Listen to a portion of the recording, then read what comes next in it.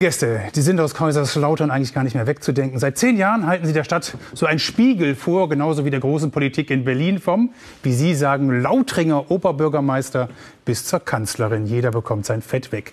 Die Untiere sind hochprofessionell, höchst unterhaltsam und dahinter stecken vor allem zwei Köpfe, der Gründer Wolfgang Marschall und seine Frau Marina Tamaschi. Zum zehnjährigen Jubiläum, da starten sie jetzt unter anderem ein großes Jubiläumsprogramm auf der Bühne. Vor kurzem sitze ich im Bus, zwei Schüler hinter mir, sagt der eine, was weißt denn du vom Bundestag? Sagt der andere, das ist für mich ein Tag wie jeder andere auch. Mit spitzer Feder zu texten, das liegt dem Kabarettisten Wolfgang Marschall. Er ist in Kaiserslautern verwurzelt. Hier schreibt er für sich und auch für andere Kabarettisten. 2009 rief er das Ensemble Die Untiere ins Leben, gemeinsam mit seiner Lebensgefährtin Marina Tamaschi eifrigen, fleißigen Kleinen. Marina Tamaschi ist vielseitig. Mal tritt sie als Teufelchen auf, mal als Bundeskanzlerin Angela Merkel. Liebe Mitbürger und Mitbürger, da bin ich wieder. Guten Abend. Kennengelernt haben sich die beiden in einem Kabaretttheater bei der Arbeit. Eigentlich ganz zufällig. Jetzt stehen die Untiere um Wolfgang Marschall und Marina Tamaschi mit ihrem Jubiläumsprogramm auf der Bühne. Auch nach zehn Jahren noch kein bisschen leise. Marina Tamaschi, Wolfgang Marschall, schönen guten Abend zusammen. Guten Abend. Ja. Zehn Jahre klingt eigentlich wie ein kleines Jubiläum, aber es ist tatsächlich in so einer Stadt wie Kaiserslautern, kann man sagen, ein richtig großes Jubiläum. Wie stolz sind Sie drauf auf diese Dekade? Ja, stolz wie Bolle natürlich, klar, top. ja, aber es ist tatsächlich ja, es ist schwer. Es, es ne? ist schwer, natürlich in einer, in einer kleinen Großstadt zu überleben auch ohne Subvention zu überleben. Wir sind ja, wir sind ja eigentlich, äh, funktionieren wir wie ein Kleintheater, aber wir haben natürlich, wir leben von der Hand in den Mund, also sprich der Eintrittskarte ins, in die, ins, in die Kasse, ja. Mhm. Und, ähm, dass es so lange geklappt hat, ist schon eine tolle Sache. Das spricht natürlich auch für die Stadt und für die Treue unseres Publikums ja. und auch für die gute Vorlagenlage, die wir durch das Lauterer Rathaus haben. Also wir haben viel Stoff. Das ist erstaunlich für die bietet. Stadtgröße. Jede Menge von ja. allem. Ja. Wie reagieren, ich habe es gerade gesagt, der Lautringer Oberbürgermeister Klaus Weichel zum Beispiel und, und andere, die Sie wirklich gerne aufs Korn nehmen, auch das ist Kult in Kaiserslautern. Wie reagieren die auf das äh, was Sie da präsentiert bekommen? Die kommen ja zum Teil auch gerne ins Programm. Mittlerweile ja, doch entspannter. ja, auch, also ich muss sagen, es hat sich mittlerweile auch rumgesprochen, dass es eigentlich auch für eine professionelle und souveräne Haltung spricht, wenn man über sich selber lachen kann. Ja. Und es kann also unser Oberbürgermeister inzwischen wirklich richtig gut und der macht sogar manchmal Werbung für uns. Also da haben wir gemerkt, so jetzt sind wir, jetzt sind wir auf einem guten Weg.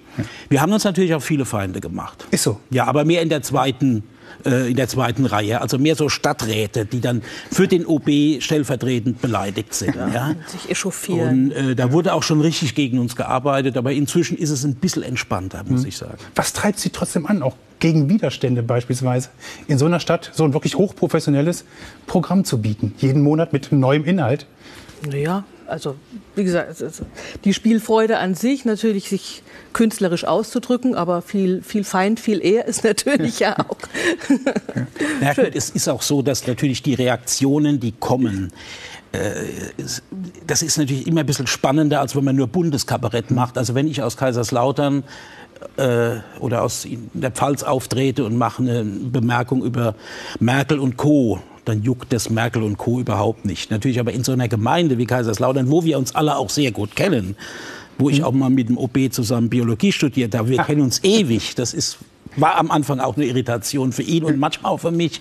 Ähm, ist das natürlich auch, das wird unmittelbarer. Nicht? Sie kriegen das direkt mit und wir werden auch ähm, regelmäßig äh, von, von unserem Publikum informiert, auch manchmal aus dem Stadtrat ja. heraus informiert, was wir, womit wir uns mal befassen müssten. Ja. Wirklich, da kommen Insider-Informationen? Da kommen Insider-Informationen. Wir recherchieren allerdings immer nach. Also wir sind da immer sehr vorsichtig, hm. was, wir, was wir wirklich dann behaupten können. Wie haben Sie denn trotzdem, ohne Bundespolitik geht es auch nicht, die Merkel in sich entdeckt, die Kanzlerin?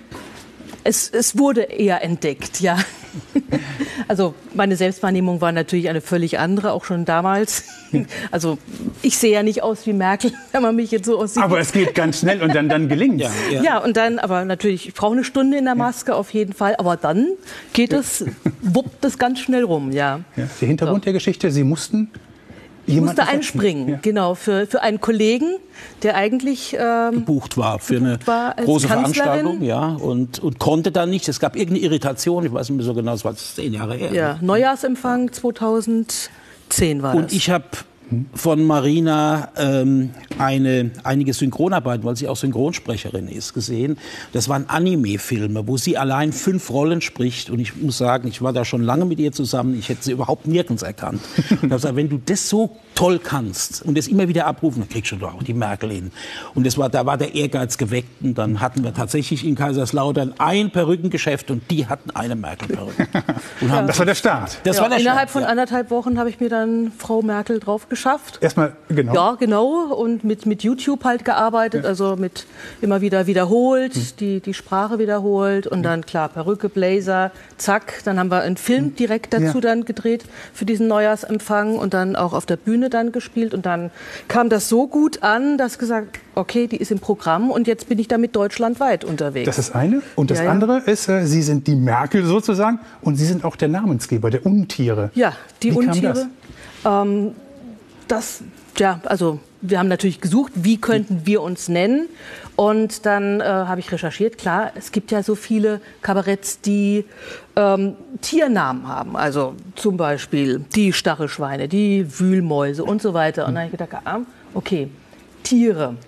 Aber wir sind keine Tiere. Wir sind also Nicht-Tiere, Untiere. Und dann fand ich das einfach spannend. Was sind Untiere? Ja, die sind immer ein bisschen mysteriös und äh, vielleicht ein bisschen Krallen und Klauen. Und ja. ich sage ja auch immer, wir sind die Untiere und nicht der Streichelzoo. Ja. Na, und ähm, so haben wir uns einfach einen Namen jetzt auch gemacht. Das ist einprägsam. Und wenn wir die Straße lau laufen, dann sagen auch ganz viele Leute, das sind die Untiere. Ne? Und das, das, ja, das ist, auch, ne? ist einprägsam. Ne? Zum Zehnjährigen wünsche ich alles Gute. Der 18. und 19. Januar in Kaiserslautern im ja. SWR-Studio ja. sind komplett ausverkauft. Am 2. Februar sind sie in Bad Dürkheim. Aschermittwoch kann man das große Programm Unbedingt ja, ein aktuelles Programm mit, mit äh, Thomas genau. Freitag. Und wenn sie dann noch eine eigene Bühne hätten, das ist das nächste. Da reden wir das nächste Mal drüber. Ja. Unser kabarettistischer Aschermittwoch im Edith Steinhaus dann. Danke genau. Ihnen für den Besuch. Alles Gute. Und